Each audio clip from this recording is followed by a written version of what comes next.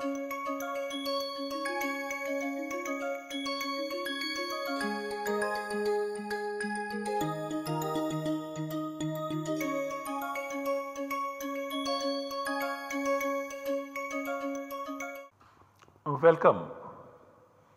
I welcome you to this lecture in the course Introduction to Paninian Grammar. In this lecture, we shall study the Vidhi Sutras or the operation rules which is the core part of the system of Paninian grammar. So, the first question is what is a Vidhi? Generally it is understood as prescription. What it means is a direction to follow some procedure in order to achieve an intended or set end result or fruit. What it also means is that a statement, vidhi is a statement that provides you with knowledge about something which is not obtainable through any other valid means of cognition. That statement is called vidhi. These are the general ideas about vidhi. the main vidhi as far as the process of speech communication is concerned and the Vyakarana is concerned is the Kriya.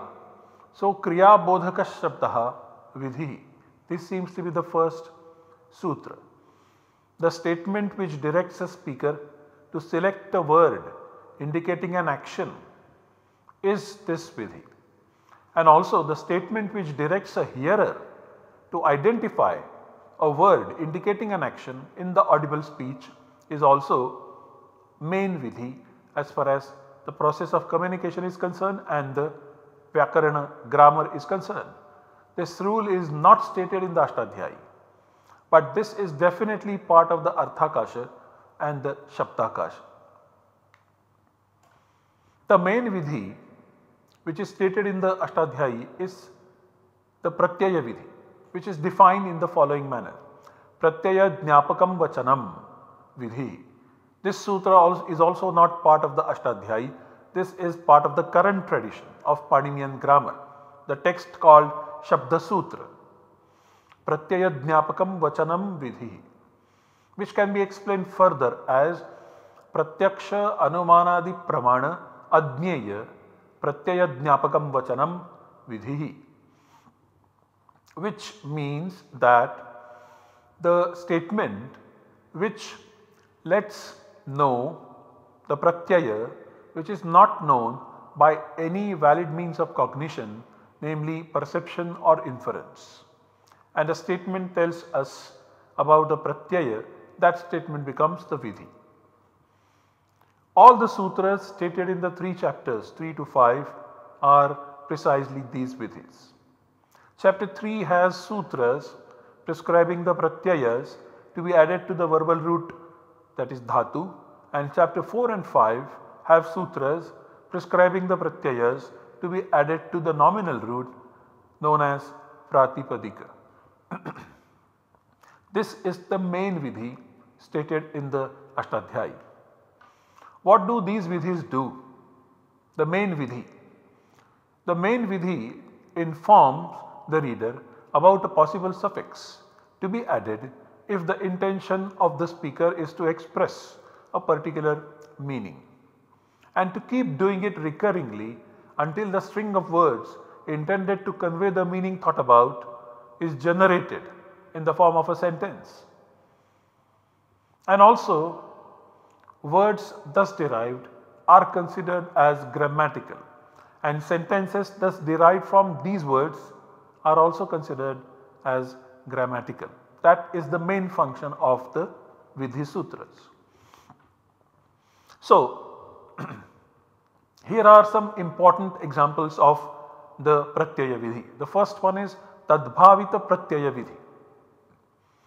So, there is a suffix la which is an abstract pratyaya and the sutra lak karmani cha bhave cha karmakebhya states the meaning 3469 what it states is that when an agent or an object or just the state is to be denoted at the pratyaya suffix l after a verbal root.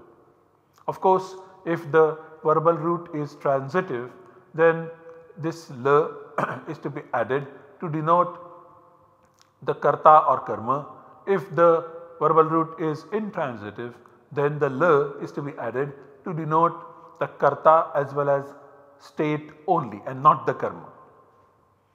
Now l is an abstract pratyaya or a suffix in whose place actual verbal elements are stated as substitutes and therefore this is called tadbhavita pratyaya.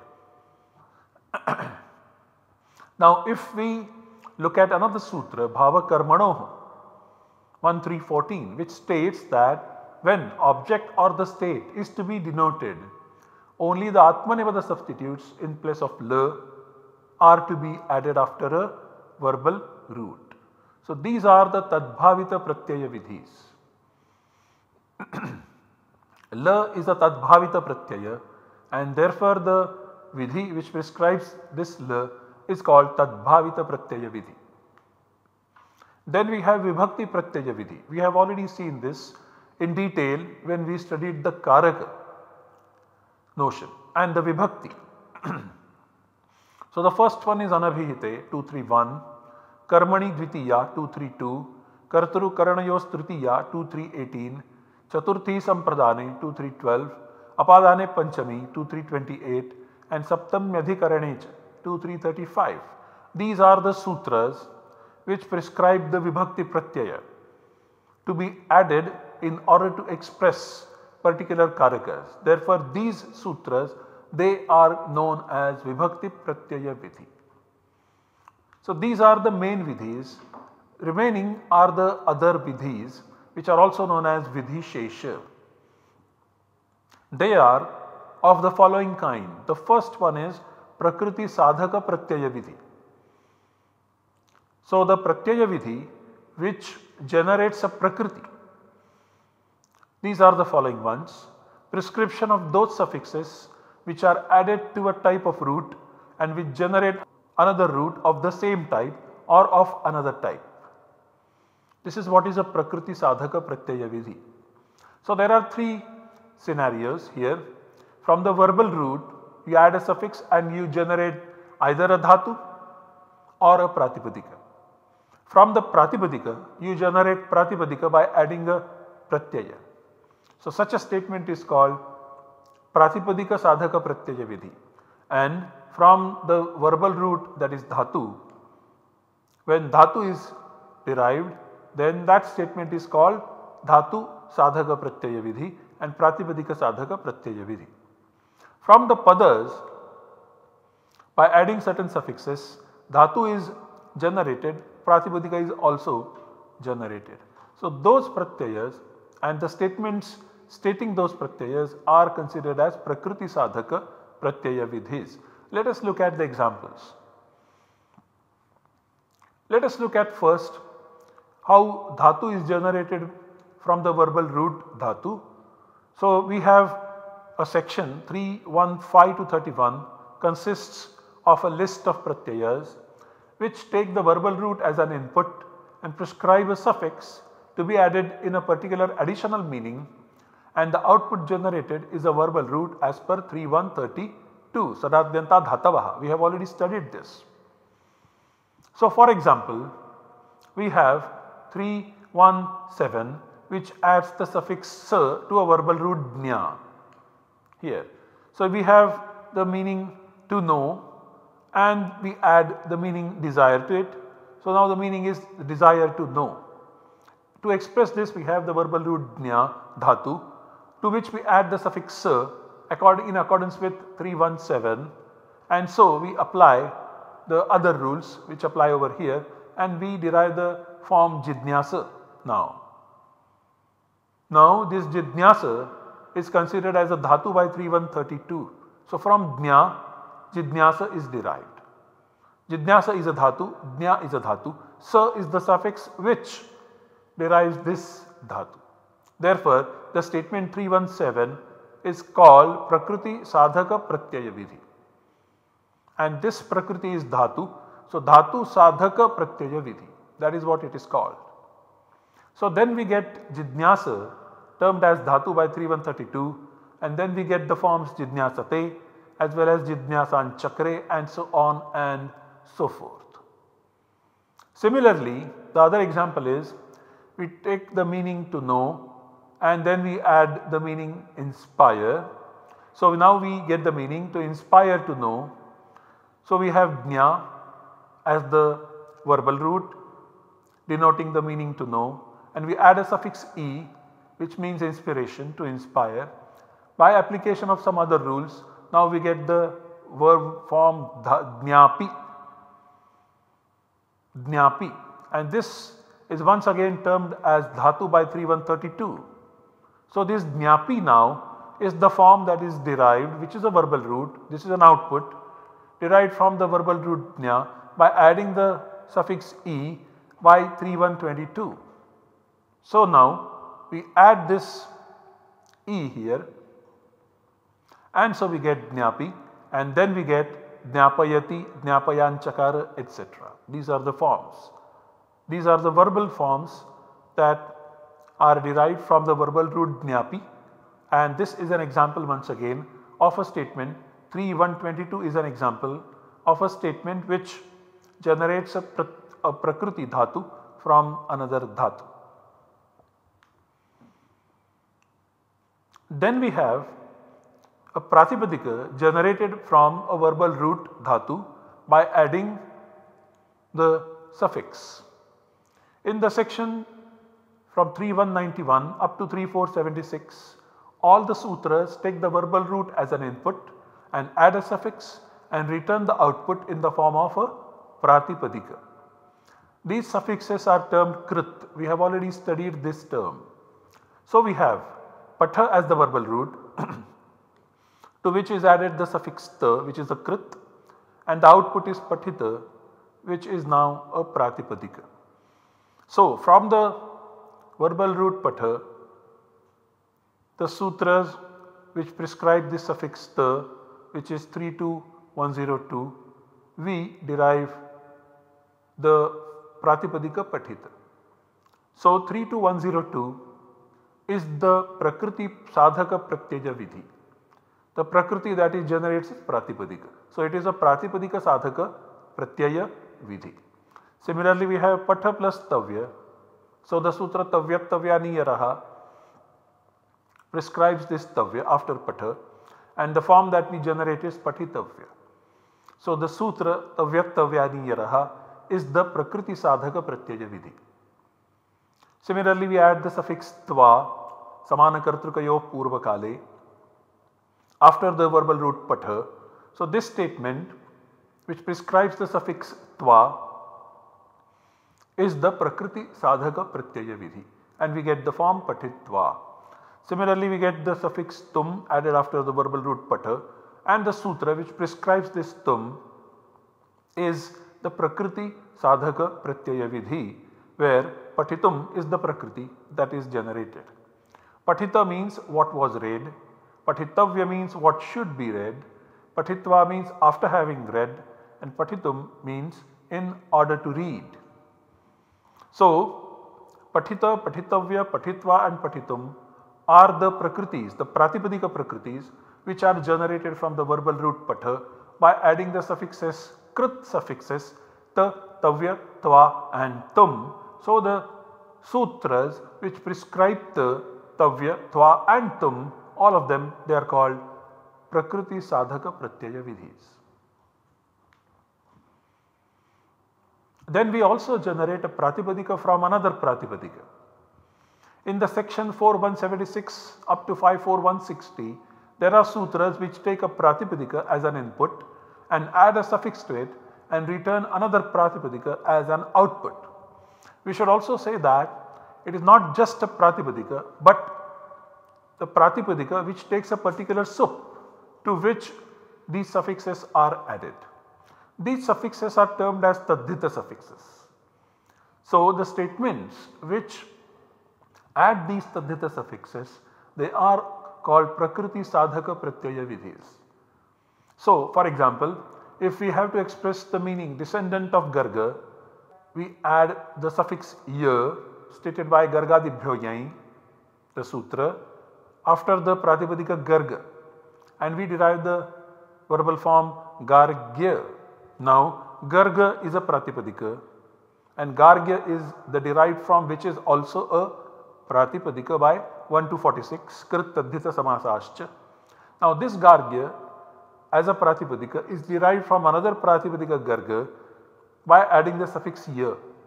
So the sutra Gargadibhyo Yai is the sutra which is called Prakriti Sadhaka Pratyaya Vidhi because it generates another Prakriti.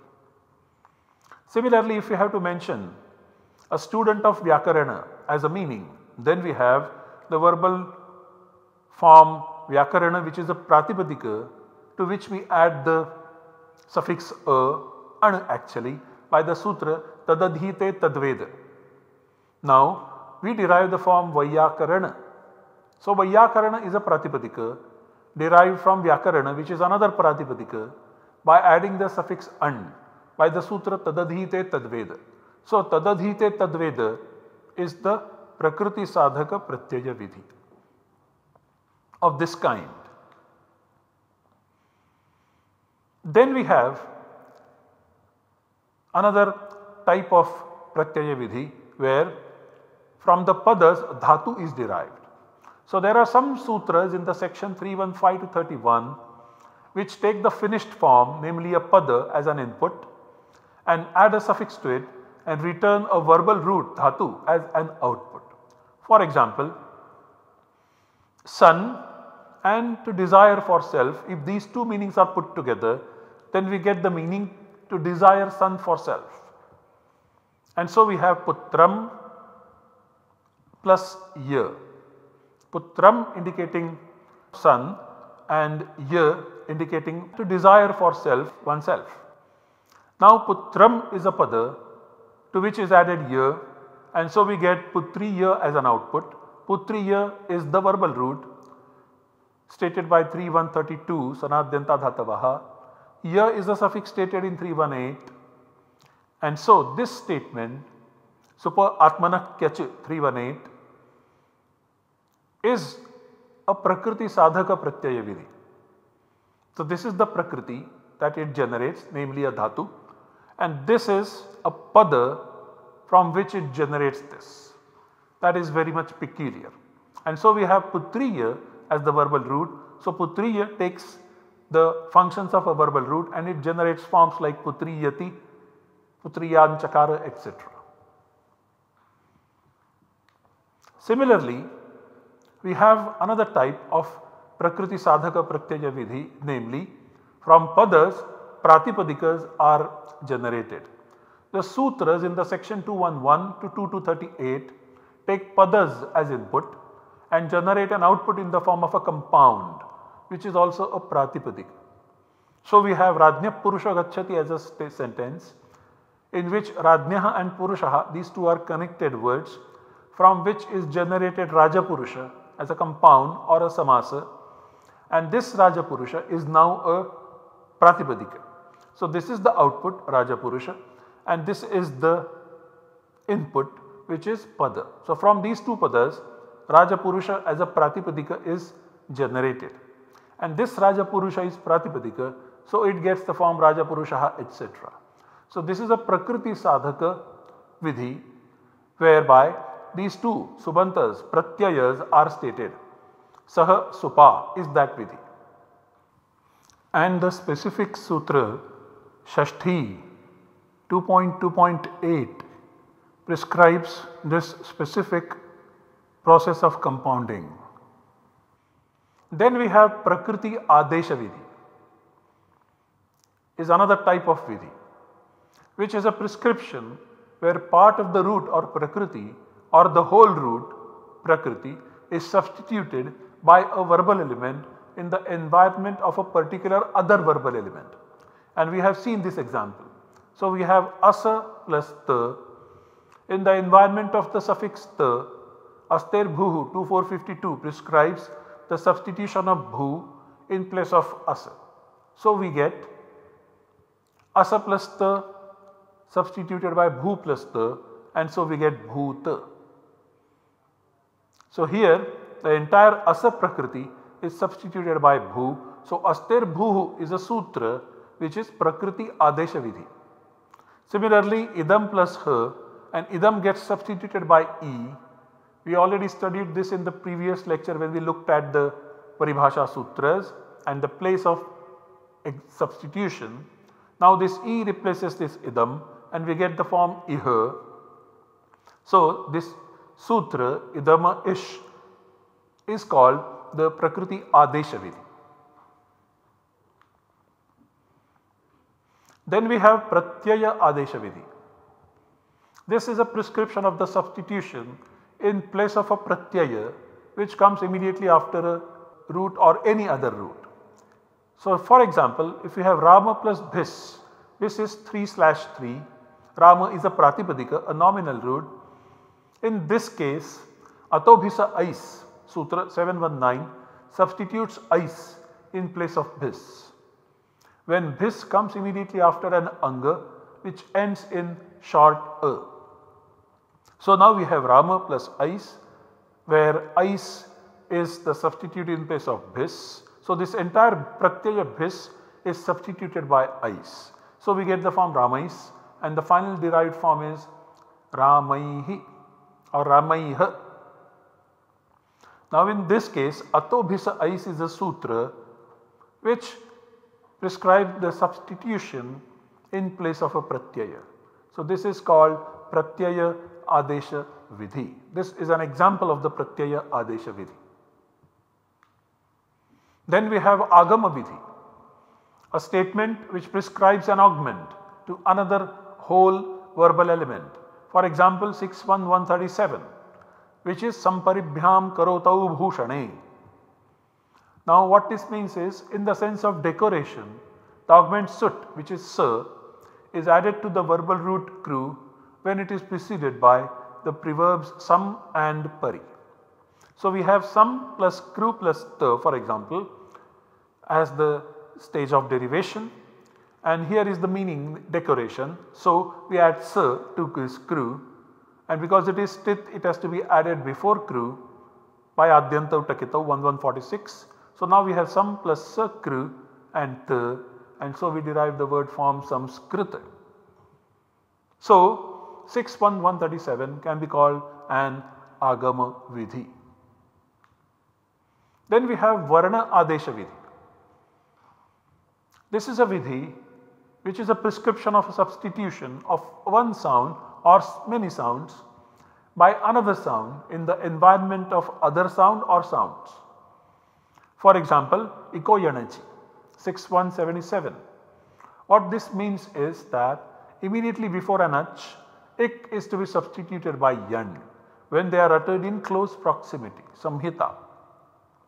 So we have dadhi plus atra in which this e comes immediately before a that is ach and so equivalency applies and this E is replaced by Y when A follows and so we get the form Dadhyatra. Now this 6177 is a Varna Adesha Vidhi as it prescribes the substitution Y in place of E in the environment of A immediately followed. So 6177 Iko Yanachi is described as Varna Adesha Vidhi. Next we have Chalaswara Adesha Vidhi. This is a prescription of the dynamic accent generated from the constituent accents. We have seen this part when we studied the compositionality aspect in the system of Paninian grammar where we said that the compositionality as far as the system of Paninian grammar exists at 3 levels the meaning that is artha, the word that is shabda and the accent namely the swara. Now here we have a sutra anudattasya cha yatrodatta lopaha 61161 which means that that anudatta vowel is substituted by an udatta vowel when the same anudatta causes the deletion of the previous udatta. So that is why this is the chalaswara, the dynamic accent. So for example, we have Deva plus E. Deva is finally accented. What is accented is not marked by any symbol. De is anudatta, Va is udatta followed by this E which is anudatta. So we have Deva plus E.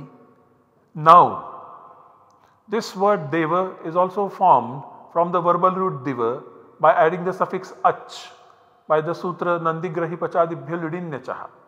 So because the pratyaya is this ach marked, marked with ch and then chitaha the rule comes into play and marks this entire word as antodat.